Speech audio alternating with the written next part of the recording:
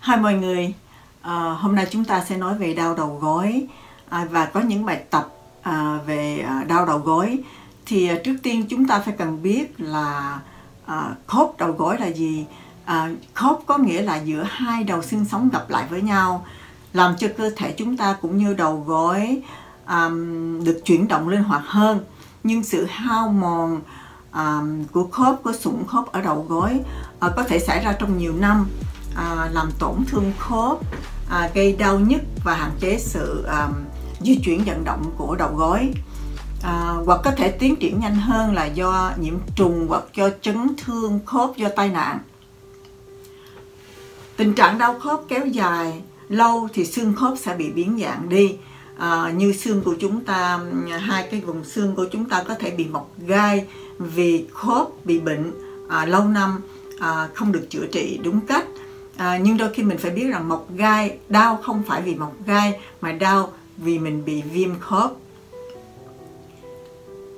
Nguyên nhân viêm khớp xương đi kèm với độ tuổi à, à, xương ít hoạt động à, hoặc mình bị béo phì hoặc à, à, sinh hoạt hàng ngày mà sai tư thế à, mình cũng dễ bị bệnh à, viêm khớp đầu gối. À, đôi khi viêm khớp đầu gối cũng xảy ra những người lớn à, những người trẻ ở đầu gối thì à, lúc mà chơi thể thao mình bị chấn thương thì sau à, sau khi chấn thương đó thì những người trẻ cũng thường bị viêm khớp sẽ tái đi tái lại. À, đau có hai loại đau một loại đau xấu và một loại đau tốt. Một loại đau xấu là khi mình nghe đau là mình sợ rồi. Mình không biết là mình phải làm gì à, mình phải sống với nó suốt đời à, à, và mình không biết là là tại sao lại đau như vậy. À, còn cái đau tốt là như thế này là trong cơ thể mình khi mà đau thì có nghĩa là nó chịu đựng không nổi nữa rồi. Nó báo hiệu cho mình ôi mình phải ngưng lại à, làm việc từ từ lại và đừng có sử dụng quá mức à, vì nó đang bị tổn thương và nó cần phải bảo vệ đúng cách à, để không có hại về sau này. Triệu chứng của đau nhức đầu gối thì thường là triệu chứng chung à, đau đầu gối à, cứng cơ hay hoặc sưng rát. Đây là triệu chứng bình thường là sưng thường tái đi tái lại à, sưng và nóng rát rất à, khó khăn đi lại. À, đôi khi mình uống thuốc cũng không à, đôi khi mình uống thuốc cũng không giảm à, không hết. Tìm hiểu cái cách nào điều trị phù hợp với mình để mình làm chậm lại sự lão hóa của khớp mình làm làm chậm lại sự hao mòn của khớp và cũng như mình làm chậm lại cái sự phát triển đi phát triển lại à, như một năm à, phát à, trở đi trở lại bệnh đau khớp của mình mình không biết cách thì nó sẽ thường xuyên hơn.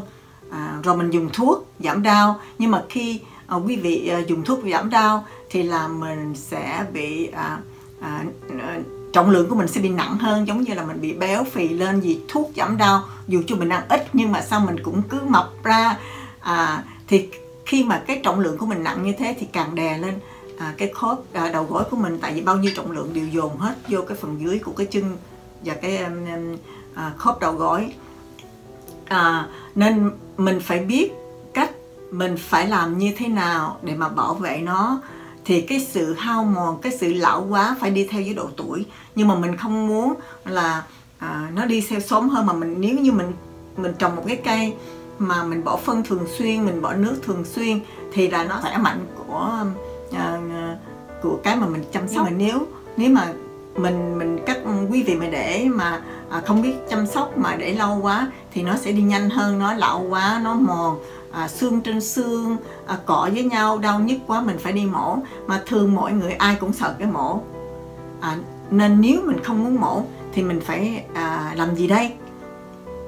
Thì cái điều trị này mình phải thử cái những cái phương pháp chữa trị khác nhau kết hợp nó phù hợp tốt nhất à, cho mình.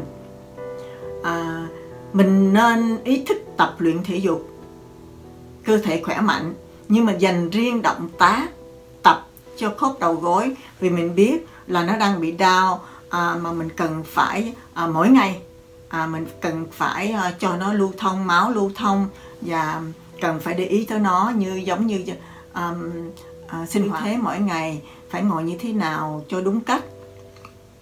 Và không sử dụng nó quá mức. Mỗi lần tập cũng như là mình biết ngày hôm nay mình đi chợ khoảng 20 tiếng đồng hồ thì mình đã sử dụng nhiều hơn bình thường rồi. Hay hoặc là mình ngồi xe trên đường dài đi chơi xa thì cái khớp của mình là hai ba tiếng cũng không như không không không không có cử động máu không lưu thông. Thì mình biết mình phải làm cái gì để bảo vệ nó. Quý vị có thể chùm đá hai ba ngày một lần thay thuốc giảm đau cũng được. Nhưng mà quý vị nên để dành một lần chùm đá cho buổi tối trước khi đi ngủ tại vì nguyên ngày mình đã sử dụng nó rồi. À, à, có thể mình đi vòng vòng trong nhà hay hoặc mình đi à, đi đâu xa này nọ nhưng mà mà mình cũng đã sử dụng nó mình cũng à, cái trọng lượng của mình cũng đè lên cái chỗ đau đó thì quý quý vị nên để dành một lần chùm đá trước khi đi ngủ. Thường xuyên như vậy thì à, à, cái khớp của mình rất là cảm ơn cái đầu gối của mình rất sẽ rất là cảm ơn mình nhân. Dù ốm hay mập như thế nào thì bệnh nhân cũng phải à, giảm giảm cân giảm 1 kg 2 kg tùy theo bệnh nhân có thể làm. Bằng bất cứ giá nào bệnh nhân phải giảm cân vì cái khi mà cái cây ở dưới của mình đã bị bệnh rồi thì bằng bất cứ giá nào mình cũng phải làm nhẹ đi cái áp lực trên cái khớp đó. Tại vì nó chịu sự trọng lượng của cơ thể của mình đè lên nó mỗi ngày. Điều này có thể hạn chế chấn thương. uh, khớp uh, trong tương lai và tăng khả năng hoạt động của mình lên. Thuốc uh, viêm à, cũng được nhưng mà chỉ trong vài ngày thôi. Nếu mà trong nó đau trở lại nó tái phát trở lại thì mình chỉ sử dụng trong ngày vài ngày thôi. À, à, chứ không thể nào mình uống thuốc giảm đau tháng này qua tháng nọ được. À, nên à, à, nên để kết hợp với cái thuốc viêm đó thì mình có thể chọn một cái thực phẩm à, à, ăn uống à, mỗi ngày của mình mà trong đó có có có chứa à, nhiều chất à, để mà à, giảm viêm như cá à, các loại đậu à, hạt à, khốn đu đủ à, dầu ô liu. À, cái đó cũng cũng giúp cho các bạn à, à, tự cơ thể của mình chống lại à, viêm khớp. Thì thường khi mà các bạn bị đau đớn mà uống thuốc không hết thì các bạn nên thay đổi à, cách điều trị thường xuyên giống như là mình tắm nước ấm mình ngủ cho đủ đúng giờ mỗi ngày và mình tập những cơ những động tác à, à, căng giãn khớp nhẹ nhàng à, hoặc mình chùm đá. Lên cái vùng bị đau của mình thường đá rất là giúp cho những cái à, khớp bị viêm khớp tại vì khi mà viêm khớp lên thì nó nóng rồi nó cần đá để mà làm dịu trở lại. À, chúc các bạn thành công và xin chia sẻ à, với bạn bè cũng như gia đình.